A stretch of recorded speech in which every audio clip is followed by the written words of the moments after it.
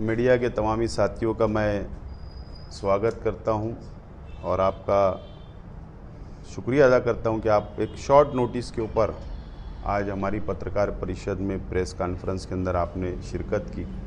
चौदह तारीख को महाराष्ट्र के डिस्ट्रिक्ट कोल्हापुर में, कोल्हापुर डिस्ट्रिक्ट में एक घटना हुई। वहाँ पर, रज़ा मस्जिद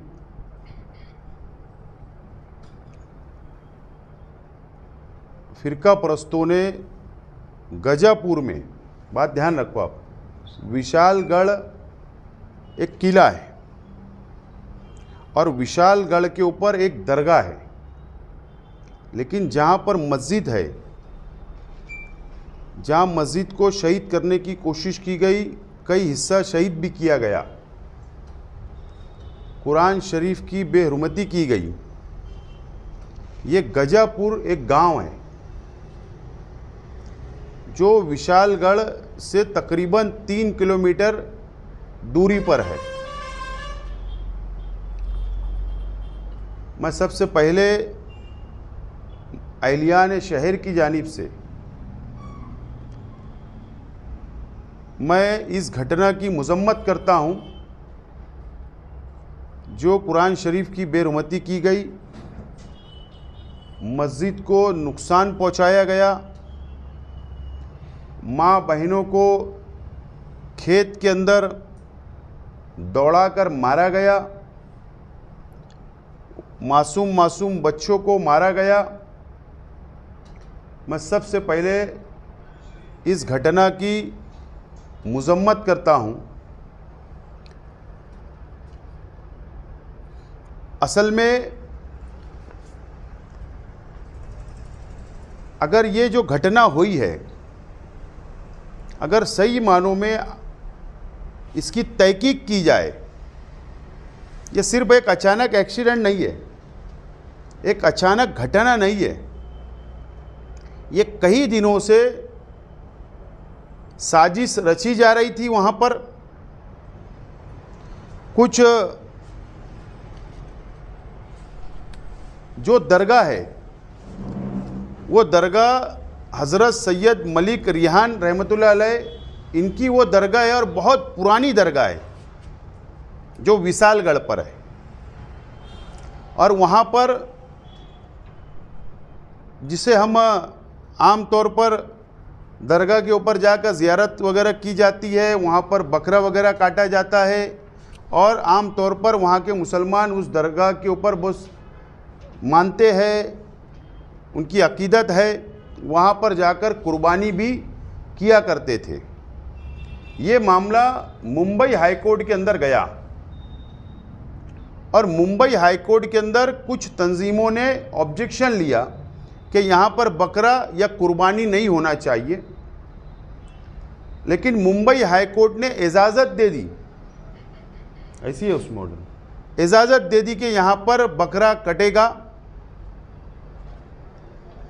और उसके बाद हाईकोर्ट के ऑर्डर होने के बावजूद भी वहाँ पर ये वातावरण को गरमाने की कोशिश की गई। जहाँ पर दरगाह विशालगढ़ में वहाँ पर कई पुराने मकानात भी है। तकरीबन डेढ़ सौ से ज़ायद वहाँ पर प्रॉपर्टी है जो मुसलमानों की है। और आठ दस प्रॉपर्टी यानी प्लॉट वगैरह के ऊपर लिटिकेशन चल रहा है, यानी ये ये मैटर जो है हाई कोर्ट के अंदर पेंडिंग है। और वहाँ पर इसको अतिक्रमण का नाम लेकर, क्या अतिक्रमण किया गया, अतिक्रमण किया गया बल्कि अगर आप उसकी तारीख देखेंगे, जो मेरे पास मालूम मैंने वहाँ से कुछ जानकारी ली, हासिल की, और जो मालूम मेरे पास है, ये बहुत पुरानी प्रॉपर्टी मुसलमानों की है। और वहाँ पर प्रॉपर्टी, कुछ लिटिकेशन कुछ तनाज़ा है, वो हाईकोर्ट के अंदर चल रहा है, वो जैसे कि वैसे परिस्थिति पे है।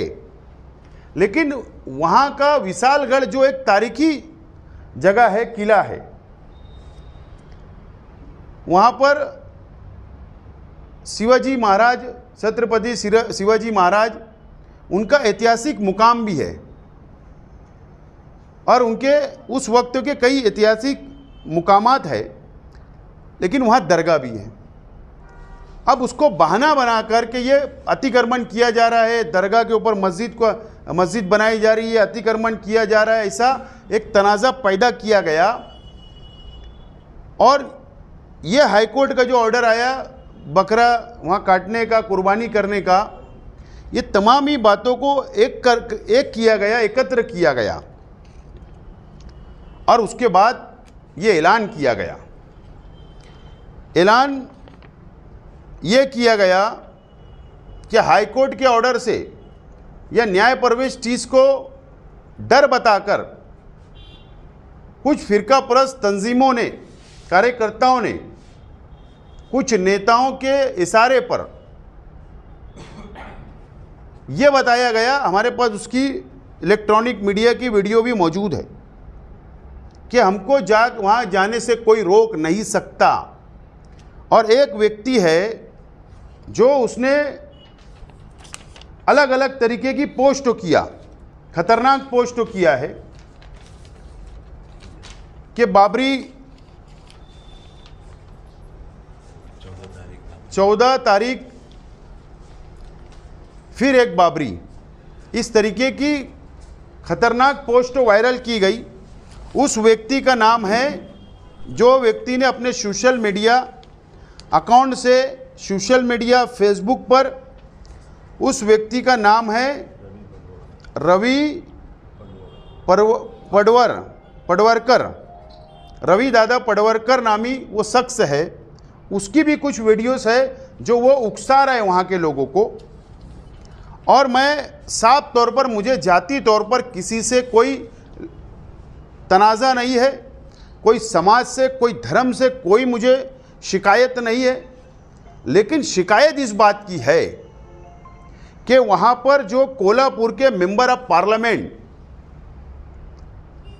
Sahu ji Maharaj, जो अभी चुन कर आए कांग्रेस पार्टी से उनके फर्जंद उनके फर्जंद, उनका नाम है संभाजी राजे छत्रपति, जो एक्स मेंबर ऑफ़ पार्लियामेंट है, और वो बीजेपी के कोटे से पिछले टर्मों में राज्यसभा के मेंबर रहे। वो भाषण किया उन्होंने कि हमको वहाँ जाने से कोई ताकत नहीं रोक सकती, और उकसाया गया और फला फला दिन फला तारीख को आपको वहाँ जमा होना है। और फिर ये गजापुर वहाँ से तीन किलोमीटर दूर है, वो शहर के अंदर जमा हुए और प्रशासन ने उनको रोक, रोका, वहाँ के मॉब को रोका कि आप वहाँ नहीं जा सकते, हाई कोर्ट ने उनको इजाज़त दी है। तो वहाँ पर ये फसाद हुआ वहाँ की मस्जिद जो है गजापुर की मस्जिद की मैं बात बोल रहा हूँ, सुन्नी रज़ा मस्जिद को वहाँ पर नुकसान पहुँचाया गया, शहीद किया गया। कुरान शरीफ की बेरहमती की गई। और ये तमाम ही मामला ये वहाँ पर हुए, मैं उसकी मजम्मत करता हूँ। मैं बहुत छोटा आदमी हूँ, बड़ी बात होगी, लेकिन मैं आज साफ़ तौर पर यह कहना चाहता हूँ, मैं कोई सियासत नहीं करना चाहता कि वहाँ के मेंबर ऑफ़ पार्लियामेंट जो कांग्रेस पार्टी से है, उन्होंने अपनी पॉलिसी ज़ाहिर करना चाहिए कि एक तरफ़ उनका फर्जंद लड़का उकसा रहा है, भीड़ इकट्ठी कर रहा है, और वहाँ पर जाकर हिंदू, मुस्लिम या मस्जिद को शहीद करने का काम करवा रहा है, खुला। और दूसरी तरफ़, वहाँ के member of parliament, Sahu ji Maharaj, अमन की बात कर रहे हैं। ये तफावत है। ये बात पॉलिसी क्लियर होना चाहिए। या तो कांग्रेस पार्टी ने माफ़ी मांगना चाहिए महाराष्ट्र की और हिंदुस्तान के मुसलमानों से। नंबर एक, मैं किसी से व्यक्तिगत मेरा तनाज़ा नहीं है। लेकिन अगर जानबूझकर इस तरीके की घटना अगर होगी, और मेरा साफ़ तौर पर बोलना है कि सरकारी पार्टी के लोग आज जो महाराष्ट्र में सरकार में बैठे हुए हैं, ऐसे लीडरान का भी समर्थन ढके छुपे अंदाज में घटना से पहले और घटना के बाद भी नज़र आ रहा है, जो सबूत मेरे अपने पास ये मुझे मालूमात मिली है। सवाल ये है कि सरकार से हम क्या उम्मीद लगाए कि सरकार से इंक्वायरी मांगे? ये हो ही नहीं सकता है। सरकार अगर कहीं ना कहीं शक के दायरे में है, सरकार के पदाधिकारी शक के दायरे में है, महाराष्ट्र सरकार की, और अगर वहाँ एक तरफ़ मेंबर ऑफ़ पार्लियामेंट सबक मेंबर ऑफ़ पार्लियामेंट अगर इसके अंदर मुलविस है, और अगर फ़िरका परस्त तंजीमें उसके अंदर मुलविस है तो इंसाफ हमने कहाँ मांगना इस महाराष्ट्र के मुसलमानों ने। मैं ये मानता हूँ कि हर समाज, हर धर्म, हर जाति ने साथ में मिलजुल कर रहना चाहिए, भाईचारा बनाना चाहिए। किसी के भी मजहबी मुकामात को नुकसान नहीं पहुंचाना चाहिए। किसी भी मजहबी किताब को नुकसान नहीं पहुंचाना चाहिए। ये इस चीज़ को मैं मानने वाला हूँ। लेकिन बैसीत एक मुसलमान। मैं आज ये आवाज़ उठा रहा हूँ और मुतालबा कर रहा हूँ कि हमको सरकार की इंक्वायरी के ऊपर भरोसा नहीं। हम ये चाहते हैं, ये डिमांड करते हैं, हाई कोर्ट के जज से न्यायाधीश से इसकी इंक्वायरी होना चाहिए और दूध का दूध और पानी का पानी हो, होना चाहिए।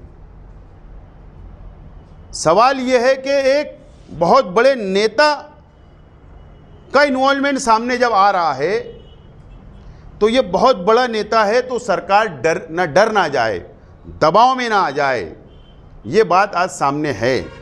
हो सकता मेरी पत्रकार परिषद से कई लोगों को ये जानकारी हो रही कि घटना क्या है। महाराष्ट्र के कई लोगों को ये अब मालूम पड़ेगा कि घटना क्या है। सिर्फ़ वहाँ के मुकामी लोगों को पता है। तो इसके लिए इस महाराष्ट्र के अंदर महाविकास आघाड़ी के अंदर जितनी पार्टियाँ हैं, उनकी भी ज़िम्मेदारी है।